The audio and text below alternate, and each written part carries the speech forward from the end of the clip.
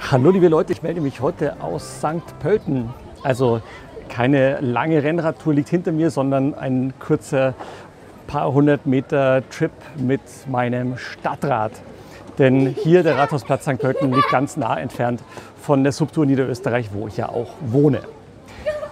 Hinter mir seht ihr das Rathaus von St. Pölten, das auch eine wichtige evangelische Geschichte hat. Denn im 16. Jahrhundert war der Rat der Stadt rein evangelisch und als Gegengewicht gegen die vielen katholischen Kirchtürme wurde dieser Rathausturm erbaut, also auch ein, dass auch die Evangelischen ein Monument in der Stadt haben. Ihr seht, etwas Besonderes ist diesem Jahr, dieses Jahr zum ersten Mal an dem Rathausturm in St. Pölten angebracht, nämlich die Regenbogenfahne. Es ist ja Juni und das ähm, ist der sogenannte Pride Month. Dieser Monat erinnert an die Unruhen in New York vor 51 Jahren. In der Nacht vom 27. auf den 28. Juni 1969 gab es bei dem Lokal Stonewall Inn den Versuch der Polizei, die ähm, insbesondere Schwulen, die dort zu Besuch waren und die dort Gäste waren, ähm, einzuschüchtern durch eine Razzia. Aber es hat dann leider in tagelange ähm, un, zu tagelangen Unruhen geführt.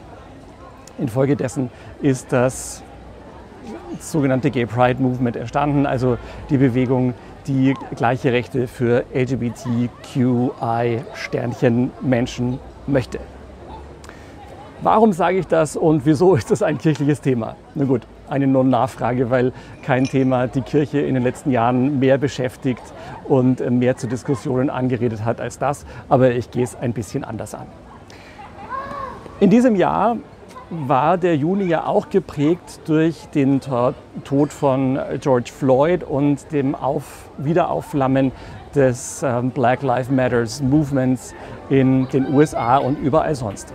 Drei Dinge möchte ich zu Black Lives Matter und der LGBTQI Pride sagen, die zusammengehören und die in ihrer Weise etwas auch für die Kirche zu sagen haben. Das Erste, es wird immer eingewandt, es soll nicht Black Lives Matter heißen, sondern All Lives Matter. Oder warum hängt denn da jetzt eine Fahne für LGBTQI-Menschen und nicht für alle Menschen? Nun ja, es liegt ein bisschen auf der Hand, aber ich sage es gerne trotzdem noch einmal. Natürlich sind alle Leben wichtig und natürlich ist die sexuelle Orientierung von allen Menschen wichtig. Aber es ist nun mal so, dass die Hautfarbe von weißen Menschen kein Grund für Ausgrenzung ist in den allermeisten Fällen und die heterosexuelle Orientierung auch nicht.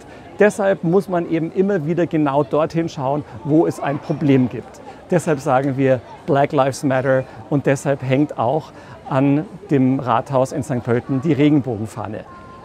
Als Zeichen, man schaut dorthin, wo es noch nicht klar ist, dass alles wichtig ist. Denn solange das Leben von schwarzen Menschen nicht wichtig ist, ist nicht das Leben aller Menschen wichtig. Und solange die sexuelle Orientierung von LGBTQ-Menschen nicht okay ist, sind sexuelle Orientierungen nicht okay. Das ist das Erste und ich denke, das müssen wir auch in der Kirche klar bekommen. In Verbindung damit das Zweite. Es gibt ja eine große Entwicklung in der Kirche, dass immer mehr ähm, Randgruppen und Minderheiten akzeptiert werden. Und äh, das ist gut so. Aber die Aufgabe kann nicht sein, dass man eine Minderheit gut findet und die anderen dann nicht.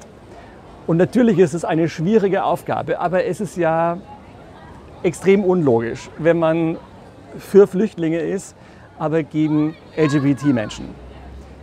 Also wenn man für die Inklusion aller Menschen ist, dann ist man eben für die Inklusion aller Menschen. Und Leute, die eine Regenbogenfahne tragen, sollen natürlich auch sagen, Black Lives Matter. Jemand, der so eine Fahne trägt, soll, kann eigentlich logischerweise kein Antisemit sein oder kein Antiziganist oder sonst irgendwas. Also das bitte irgendwie klar bekommen, es geht nur alles. Dass das schwierig ist und dass es eine Entwicklung braucht, ist klar. Aber zu sagen, ja, das eine ist okay, die einen sind okay, aber die anderen nicht, das funktioniert einfach so nicht. Und das Dritte, was, glaube ich, ein großes Missverständnis ist, in der Kirche und an vielen anderen Stellen auch.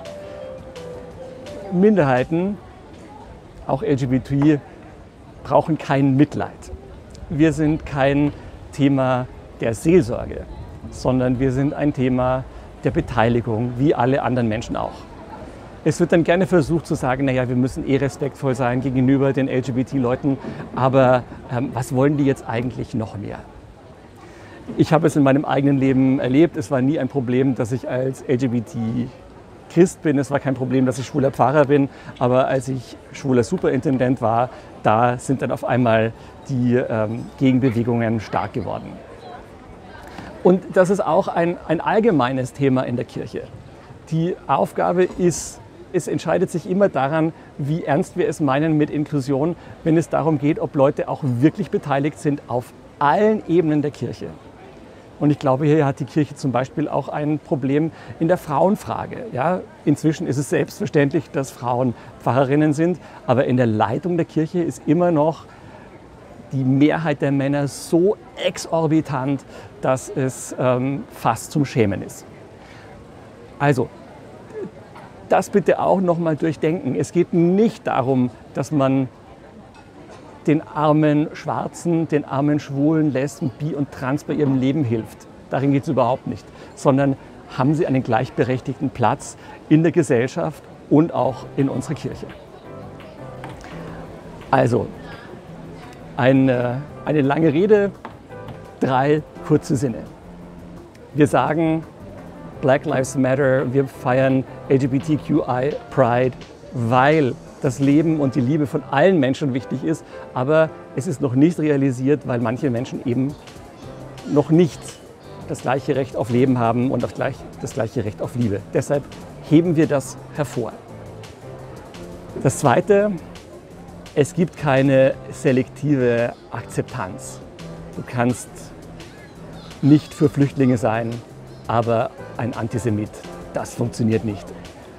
Und das Dritte, es geht nicht um Mitleid, sondern um Beteiligung.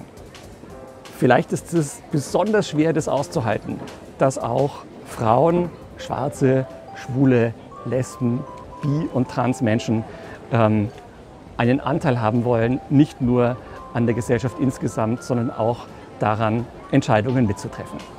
Also, da sind wir mitsammen am Weg. Ich weiß, dass es ganz viele Verbündete gibt machen wir weiter. Wir dürfen nicht müde werden, weil die Gegenbewegungen ja auch sehr stark sind, die etwas anders wollen. Aber vielleicht versteht auch ihr, wenn ihr das seht und ganz andere Meinung seid, jetzt zumindest, worum es mir geht.